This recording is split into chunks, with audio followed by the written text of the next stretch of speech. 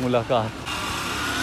सबसे पहले ये देखो 2000 का फटका लग गया। So guys good morning once again welcome back to the another blog guys कैसे आप सब? उम्मीद करूँगा अच्छे खासे होंगे। तो अभी अभी जस्ट हम पहुँचे। हैं वापस आपको पता ही है कि पिछले वाले ब्लॉग में मैं घर चला गया था तो अभी मॉर्निंग हुई। मैं, मम्मी और साथ में ये देखो, ये जिम्मी। मम्मी वगैरह ने तो मंदिर आना था बट मैं यहाँ पे पहुँच चुका हूँ। पहुँचे थोड़ी देर पहले थे तो ब्लॉग की शुरुआत हो गई। अभी हो रही है चैनल पे नए सब्सक्राइब करना है। सामने की जो आप स्नो वाली पिक्स देखना चाहते हो तो देख ही सकते हो। थोड़ा सा जूम करके। कितना क्लियर वेदर है आज। बादल वगैरह कुछ भी नहीं है तो ये देखो, बहुत ही बढ़िया है। एंड ये भी काफ़ी लो, चल इधर।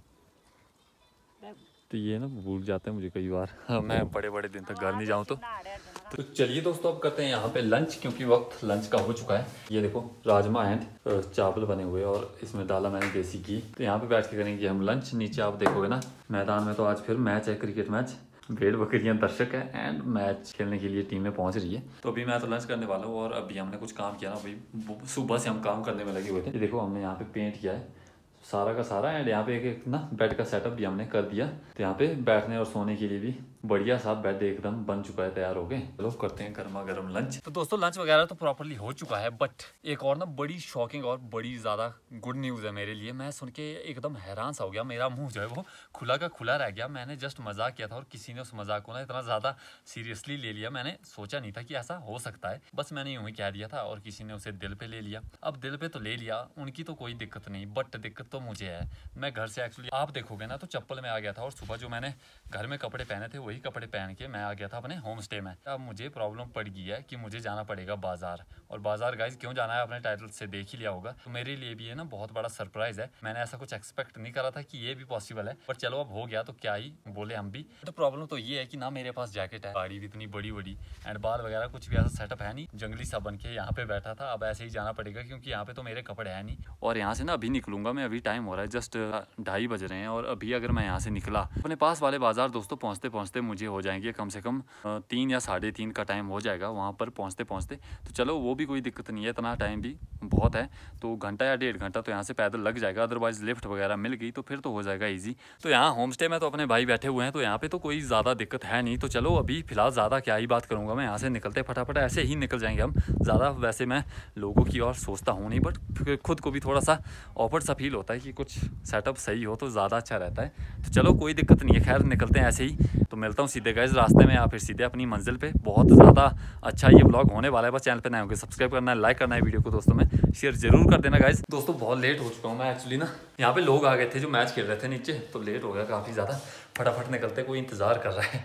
बहुत मुश्किल है तो चलो। शाम होने वाली है, जल्दी से जूते डालते हैं। एंड निकलते हैं। बस कैसे अभी निकला हूँ मैं होम स्टे से एंड यहाँ पे आप नीचे देखोगे ना तो मैच भी पूरे जोरों शोरों पे चला हुआ है। अपने युवा, क्या ही बात है। बहुत ही खूबसूरत मैच लेट हो गया हूँ, बहुत ज़्यादा बट क्या ही करे, काम पड़ गया था गाइज़ ऊपर ना आज क्रिकेट का मैच है, आपने देखा ही तो लोग आ जाते हैं फिर। कोई चौमिन वाला तो कोई मोमोज वाला ऐसे ऐसे कई सारे अपने भाईचारे आते ही रहते कैफ़े में। फाइनली दोस्तों, पहुँच चुका हूँ गाड़ी में। अब चलो, चलते हैं यहाँ से।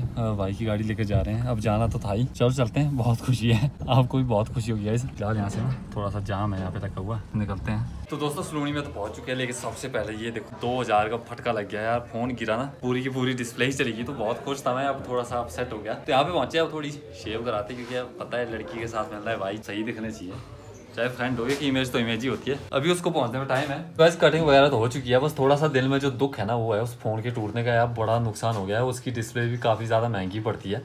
तो मुश्किल है बट चलो अब क्या ही करें। मेरी फ्रेंड भी पायल यहाँ पे, पहुँचने वाली कुछ ही देर में एंड मज़ा आने वाला है। तो भाई कटिंग करते हैं। हर बार इनसे कराता हूँ कटिंग में। कोई भी सलूनी में आता है तो यहाँ पर ज़रूर आना लक्ष्मी नारायण मंदिर के पास। बहुत ही बढ़िया कटिंग होती है, देख ही लो कितना स्मार्ट लग रहा है आपका भाई।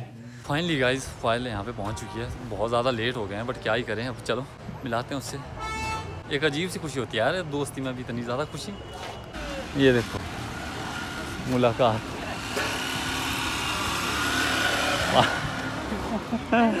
क्या कैसे हो? ठीक हो? बढ़िया यार मस्त। गाइस पहुँच चुके हैं चलो अब। बहुत लेट हो गया नुकसान हो गया ये ये चेक करो ये।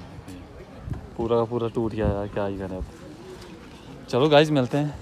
तो गाइज़ पहुँच ही चुका हूँ मैं वापस पायल से मिलने के बाद बट ना, बहुत ज़्यादा लेट हो चुका हूँ पीछे। देखो, आप अंधेरा ही हो चुका तो मंदिर के पास पहुँचा मैं यहाँ पे। तो अपने भाई यहीं थे लाइट्स ऑन है तो उन्होंने मंदिर की भी लाइटें जला दी शाम को ना, आप मंदिर का भी खूबसूरत सभी चेक कर ही सकते हो एंड होम स्टे का भी। उनकी बस खराब हो गई थी ना, जिस वजह से वो काफ़ी ज़्यादा लेट हो गई थी पायल वहाँ पे पहुँचते पहुँचते तो उतना ज़्यादा मिल नहीं पाया हम। और दोस्तों, मुझे पता नहीं था ना कि सलोनी में मतलब उनके बुआ या मासी की, पता नहीं कुछ बताया था, उनकी लड़की की शादी हुई है। तो मैंने सोचा कि मैंने जो कहा था, पिछले वाले ब्लॉग में कि पायल से ब्लॉग देखना है तो इस वजह से उसने उस बात को शायद सीरियस लिया होगा बट ऐसा नहीं था।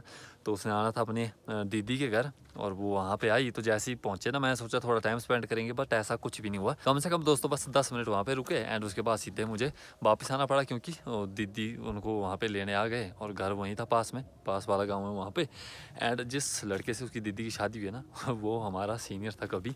और देखो तो नसीब कहाँ कहाँ से खींच के ले आते हैं। एंड गाइज़ उनकी भी लव मैरिज है। मतलब वो लड़की बरमौर से, उस साइड से लड़के के साथ भाग के आई थी। एंड फिर मम्मी, पापा वगैरह सारे राज़ी हो गए तो शादी करवा दी थी। तो अभी पायल उनके घर गई है।